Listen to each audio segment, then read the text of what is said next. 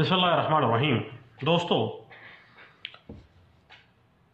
امور باعث تکلیف عامہ پبلک نوئسنس جس کو کہا جاتا ہے۔ پبلک نوئسنس بنیادی طور پر لوگوں کو تکلیف دینا، لوگوں کو جب تکلیف کسی امر کی بابت ہوتی ہے، تو ان کی فوجداری سیول ہر طرح کی ریمیڈی ان کے پاس اویلیبل ہوتی ہے۔ جبکہ ضابطۂ فوجداری کے اندر سیکشن ایک سو تینتیس۔ Conditional order for removal of nuisance کا اختیار ایک مجسٹریٹ درجہ اول کو دے رہی ہے۔ اور دو ہزار ایک میں باقاعدہ طور پر اس کو واضح کیا گیا۔ کہ ایک آرڈیننس میں لکھا واضح کر دیا گیا کہ دو ہزار ایک میں کہ مجسٹریٹ درجہ اول conditional order for removal of nuisance کو پاس کرتا کر سکتا ہے۔ بنیادی طور پر جب بھی پبلک نوئسنس آ جاتی ہے تو پبلک نوئسنس کے خلاف اگر مجسٹریٹ اس آرڈر کے خلاف کسی شخص کو یہ کہتا ہے کہ آپ دیوانی عدالت میں جائیں یا کسی فلاں ریمیڈی کو اویل کریں تو وہ اس بات کا خطرہ اس میں ہے، اس امر میں ہے کہ اگر فوری طور پر اس پبلک نوئسنس کو نہ روکا گیا اور شکایت کنندہ جو ہے وہ کوئی اور ریمیڈی لینے گیا، تو اس دورانیے میں پبلک نوئسنس اتنی سٹرینجر ہے، اتنی اتنی سٹرونگ ہے، اتنی زیادہ خطرناک ہے کہ وہ نقصان قابل تلافی ہو جائے گا۔ تو اس وجہ سے ایک سو تینتیس سیکشن سی آر پی سی ہمیں واضح کر رہی ہے کہ ایک مجسٹریٹ درجہ اول جو ہے وہ فوری طور پر ایک کنڈیشنل آرڈر پاس کر سکتا ہے۔ ایک سو تینتیس میں جو پبلک نوئسنس کے معاملات رکھے گئے ہیں، وہ اس کی تین اقسام ہیں، تین درجے ہیں۔ پہلی یہ ہے کہ کسی ایسے راستے، دریا یا نالی میں غیر قانونی رکاوٹ ڈالنا جو عام لوگوں کے استعمال میں ہو۔ عام لوگ اس سے اس کو استعمال میں لا رہے ہیں اور اس میں رکاوٹ، جیسے کھالا بند کر دینا، یا اس میں کوئی ایسا گند پھینک دینا، یا اس میں گوبر پھینک دینا۔ دوسری چیز، ایسی تجارت یا مال تجارت جو لوگوں کے لیے پرابلمیٹک ہو، لوگوں کی صحت کے لیے، لوگوں کی تندرستی کا کے لیے نقصان دہ ہو، لوگوں کے آرام و آرائش میں مغل ہو رہا ہو، تو اس کے خلاف ایک سو تینتیس سی آر پی سی کے تحت کنڈیشنل آرڈر ایک مجسٹریٹ درجہ اول پاس کر سکتا ہے۔ نمبر تین، کسی عمارت کی تعمیر یا دماغہ خیز مواد کا ذخیرہ جو لوگوں کے لیے خطرے کا باعث بن سکتا ہے، جیسے سلنڈر بھرے جا رہے ہیں یا اس عمارت میں آتش بازی کا سامان بنایا جا رہا ہے۔ لوگوں کو پبلک نوئسنس ہے اور ایک سو تینتیس میں ان کے خلاف کاروائی کی جا سکتی ہے۔ کنڈیشنل آرڈر ایک مجسٹریٹ درجہ اول جو ہے، وہ اس کو پاس کر سکتا ہے۔ چوتھی جو درجہ دیا گیا ہے وہ ہے مختوش عمارت، درخت، خیمہ یا کوئی ایسی چیز جو پبلک میں نوئسنس کریٹ کر رہی ہو، لوگوں کے حقوق جو ہیں، صحت کے، تندرستی کے، لوگوں کے آرام کے اس میں مخل ہو رہی ہے۔ اس کے بعد کسی عام گزرگاہ کے ساتھ غیر محفوظ تالاب وغیرہ کا بنا دینا، خطرناک جانور پالنا، کتے، شیر لے کے ایک علاقے میں رکھ لینا تو لوگ جو خطرہ محسوس کریں، وہ باقاعدہ طور پر ایک سو تینتیس سی آر پی سی کے تحت اس کے خلاف متعلقہ جو مجسٹریٹ درجہ اول ہے، اس کے پاس ایک سو تینتیس کی اپلیکیشن دے سکتے ہیں۔ بنیادی طور پر ایک سو تینتیس کا جو مقصد ہے، وہ اہم جو خطرہ ہے، جس کے فوری ٹلنے کا امکان نہیں ہے، ہنگامی احتیارات کو ایک مجسٹریٹ ہنگامی حالات کے پیش نظر اس کو زیر استعمال میں لاتا ہے اور قطعی صورت مجسٹریٹس یہ توقع نہیں کرنی چاہیے کہ وہ سیکشن ایک سو تینتی کے تحت ایسے شخص کے خلاف اختیارات بروئے کار لائے جس پر عام قانون کے تحت آسانی سے مقدمہ چلایا جا سکتا ہو۔ یعنی اگر کوئی اس کے اور آلٹرنیٹ ریمیڈی ہے دین ایک سو تینتیس کے تحت فوری کنڈیشنل آرڈر پاس نہیں کیا جائے گا۔ کیونکہ قانون یہ کہتا ہے کہ سیکشن ایک سو تینتیس جو ہے وہ ہمیشہ مخصوص اختیار ہے اور مخصوص اختیارات سیکشن ایک سو تینتیس سی آر پی سی کو مناسب احتیاط کے ساتھ بڑی پبلک کی بہتری کے لیے، ان پبلک نوئسنس کو ختم کرنے کے لیے استعمال میں لانی چاہیے اور مجسٹریٹ کو اس بات کی سیٹسفیکشن ہونی چاہیے اور ایسے اختیارات استعمال نہیں کرنے چاہیے جو ذاتی نویت کے ہوں، کہ اگر کسی کا ذاتی گریوینس ہے تو دین قطعی صورت سیکشن ایک سو تینتیس کے تحت کاروائی نہیں کی جائے گی۔ اس میں پبلک نوئسنس کی جو استادی اختیارات ایک مجسٹریٹ کو دیے گئے ہیں، وہ پولیس رپورٹ ہے، یا کوئی اطلاع ہے، یا کوئی ایسی شہادت ہے، جس کے بعد وہ مناسب خیال کرے کہ یہ امر جو ہے میرے علاقے میں، میرے ایریا میں یہ عوام الناس کے لیے پرابلمیٹک فیکٹر ہے پبلک میں پبلک نوئسنس کریٹ کر رہا ہے اور لوگوں کی صحت اور تندرستی کے لیے خطرہ ہے یہ لوگوں کے آرام و سکون میں مغل ہو رہا ہے۔ اب بات سیکشن ایک سو تینتیس کا مقصد جو ہے، وہ فوری پبلک نوئسنس کو دور کرنا ہے۔ اس حوالے سے ایک نائنٹین نائنٹی سکس میں ایک بندہ ایک سو تینتیس کی کاروائی کے لیے اپلائی کر رہا ہے کہ سرخ مرچ پیسنا کی ایک مشین جو ہے اس کے علاقے میں لگا دی گئی ہے۔ اس کے ساتھ ایک چاول چھڑنے کی مشین لگا دی گئی ہے۔ اس کی وجہ سے علاقے میں سمیل آتی ہے، مرچوں کی، لوگوں کی طبیعت خراب ہوتی ہے۔ گنجان آباد علاقہ ہے، لوگوں کے پبلک نوئسنس کریٹ ہو رہی ہے۔ تو سرخ مرچیں پیسنے والی مشین اور چاولوں کی چھڑائی کرنے والی مشین جو ہے، وہ ڈکلیئر کیا گیا کہ پبلک نوئسنس کریٹ کرتی ہے اور ڈپٹی کمشنر جو تھے، انہوں نے آرڈر پاس کیا میونسپل کمیٹی کو کہ فوری طور پر اس کو ریموو کیا جائے۔ اور اس آرڈر کے خلاف جو بندہ عدالت عالیہ میں جاتا ہے، لاہور ہائی کورٹ میں، اس کو یہ کہا جاتا ہے کہ جو ڈپٹی کمشنر نے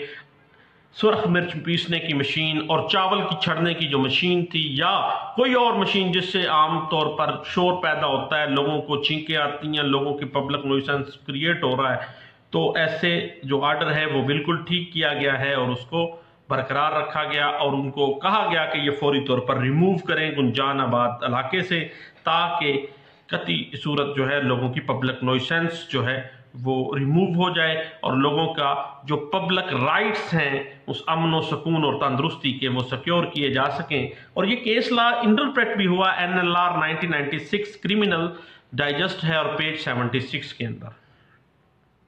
بنیادی طور پر یاد رکھے گا کہ سیکشن ایک سو تینتیس جو ہے، وہ پبلک نائسنس کی صورت میں فائنل آرڈر سے پہلے متاثرہ شخص کو نوٹس دینا ضروری ہے کہ وہ آ کے وہ ویریفائی کرے کہ بھائی اگر اس نے سرخ مشین پیسنے والی کوئی مشین لگائی ہے، چاول کی چھڑائی کی کوئی مشین لگائی ہے، تو وہ کس طرح سے وہ جسٹیفائی کرے؟ نوٹس دینا مینڈیٹری ہے۔ یہ بات انٹرپریٹ بھی کی گئی ہے۔ Two thousand P C R L J page ہے ون سیون زیرو ٹو میں۔ اس کے بعد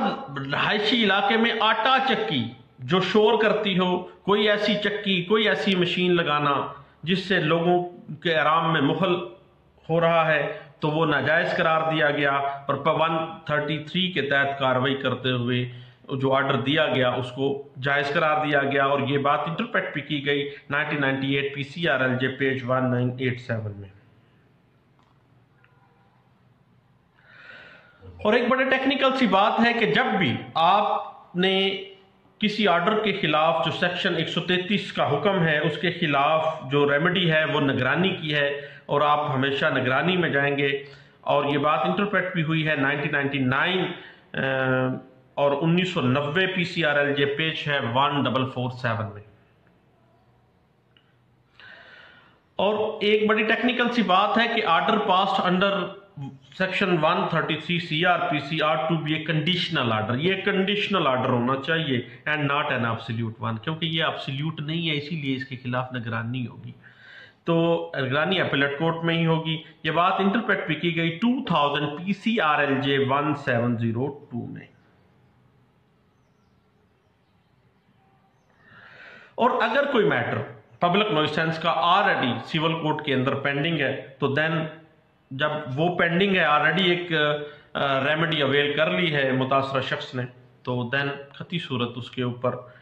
ون تھرٹی تھری اطلاق نہیں ہوگا، بلکہ انتظار کیا جائے گا جب تک پبلک نوئسنس دیوانی عدالت سے ریموو نہیں کی جاتی، اس وقت تک کوئی فوجداری جو ہے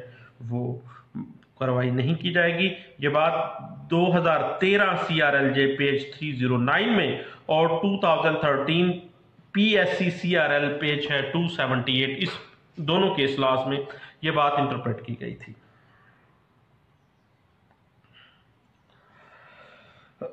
اس کے علاوہ ایک کیس لا سامنے آتا ہے ninety ninety nine P C R L J page thirty one میں کہ رہائشی علاقوں میں جو ٹینریز لگائی جاتی ہیں، چمڑا رنگنے کی، ربڑ رنگنے کی جو کارخانے ہیں وہ لائسنس ڈی سی صاحب اگر دیکھ دیتے ہیں اور وہ لوگوں کے لیے پبلک نوئسنس پیدا کر رہا ہے، تو یہ چیز غلط ہے اور یہ قطعی صورت لوگوں کی پبلک نوئسنس کریٹ ہو رہی ہے۔ پبلک نوئسنس کی ریموول ہونی چاہیے اور ایک سو تینتیس کے تحت فوری طور پر کنڈیشنل آرڈر کے تحت اس کو فوری ریموو کیا جائے۔ یہ بات انٹرپریٹ ہوئی تھی nineteen ninety nine P C R L J page thirty one میں۔ اور جب بھی یہ پریونٹیو پروسیڈنگز کی جائیں گی، تو ہمیشہ یہ بات ذہن میں رکھیے گا کہ کوئی بھی رکاوٹ، کوئی بھی پبلک نوئسنس خواہ کتنی ہی معمولی کیوں نہ ہو، اگر وہ کسی شہری کی صحت کے لیے مضر ہے، اس کی تندرستی کے لیے مضر ہے، اگر اس بندے کے رائٹس کو انفرنج کر رہی ہے اس بندے کی ایزمنٹ کو انفرنج کر رہی ہے، اس بندے کے امن و سکون کو برباد کر رہی ہے، تو وہ پبلک لائسنس ہوگی۔ اور اس چیز کے اوپر 133 کے تحت کاروائی کرتے ہوئے کنڈیشنل آرڈر کے ذریعے باقاعدہ طور پر مجسٹریٹ درجہ اول جو ہے، وہ فوری ریموول کا آرڈر کرے گا۔ یہ بات ایک سیٹلڈ پرنسپل ہے اور سیٹلڈ پرنسپل کے طور پہ مختلف کے اصلاح میں سامنے آتی ہے۔ اور یہ رپورٹ ہوئے ہیں 2005 S C M R Supreme Court of Pakistan کا فیصلہ ہے اور رپورٹ ہوا 142 نمبر پیج کے اوپر۔ اس سے پہلے 2000 میں P C R L J page 1702 میں یہ بات رپورٹ کی گئی تھی کہ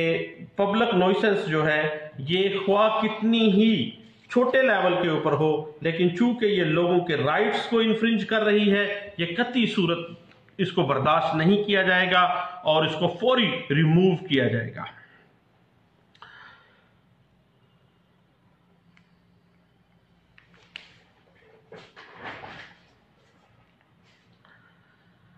اب معاملہ یہ آ جاتا ہے کہ کتنی پب... کیا کوانٹٹی ہے اس پبلک نوئسنس کی؟ جس کے لیے ایک مجسٹریٹ جو ہے وہ کاروائی میں کے لیے دیکھ سکے کہ کیا اس کے اوپر 133 کی کاروائی ہونی چاہیے یا نہیں ہونی چاہیے، تو قانون کہتا ہے کہ صرف اتنا ہی کافی مواد ہونا چاہیے کہ ایک مجسٹریٹ کے سامنے یہ بات واضح ہو جائے اور پریما فشائی یہ بات سامنے آ جائے کہ پبلک نوئسنس کریٹ ہوئی ہے پبلک کی تندرستی پبلک کی صحت پبلک کا سکون برباد ہوا ہے، تو اگر کوئی شکایت کرندہ یا پولیس یا کسی اور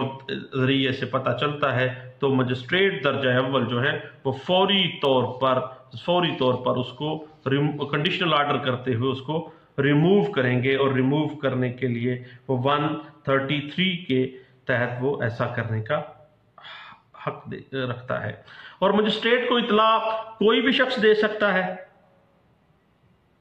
لیکن جب مجسٹریٹ کاروائی کرتا ہے، تو وہ کاروائی اس کی طرف سے آج خود سمجھی جائے گی، کیونکہ مجسٹریٹ کی طرف سے وہ کاروائی کی جائے گی۔ ایسے شخص کو اس معاملے کے اندر کوئی حق نہیں ہوتا اور اسے ایسا شخص نہیں کیا جا سکتا جو فریق میں کاروائی کے اندر ایک فریق کی حیثیت نہیں رکھتا، بلکہ فریق کی حیثیت صرف اور صرف وہ مجسٹریٹ رکھے گا جو 133 کے تحت کسی بندے کی اطلاع کے اوپر، کسی پولیس افسر کی اطلاع کے اوپر یا کسی ایویڈنس پہ۔ جاتے ہوئے پتہ چل گیا کہ وہاں دعائیں دعائیں اور لوگ بر لوگوں کی زندگی برباد ہو رہی ہے۔ لوگوں کی صحت، لوگوں کے شور کی وجہ سے لوگوں کے problem industry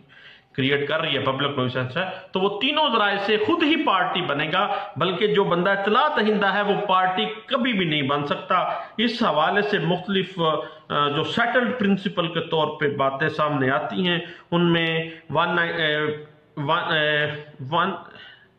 one four five seven number ایک پیج ہے پی سی آر ایل جے کا۔ یہ انیس سو اٹھانوے میں رپورٹ کیا گیا ہے کیسلا ہے۔ اس میں باقاعدہ طور پر یہ واضح کیا گیا کہ اس میں کوئی private person as a party نہیں آئے گا، بلکہ مجسٹریٹ خود یہ اپنی اینڈ کے اوپر کاروائی کرے گا اور وہ خود از خود جو ہے اس کی کاروائی کا وہ چلائے گا اور کوئی بھی پارٹی ذاتی حیثیت سے اس کو پروسیڈ نہیں کروائے گی۔ تو یہ چند ایک باتیں تھیں۔ One thirty three C R P C removal of public nuisance کے حوالے سے جو میں اپنے دوستوں سے شیئر بھی کرنا چاہتا تھا۔ تو میں نے کہا کہ ضرور کرنی چاہیے اور دوستوں کے پاس کوئی میٹریل اس حوالے سے ہو، اس میں دو ہزار سترہ اور دو ہزار اٹھارہ میں بھی اس کے اوپر کافی کام ہوا ہے اور اٹس پٹیشن پہ اس پہ ہم مزید کچھ باتیں بعد میں کریں گے۔ تھینک یو اللہ حافظ۔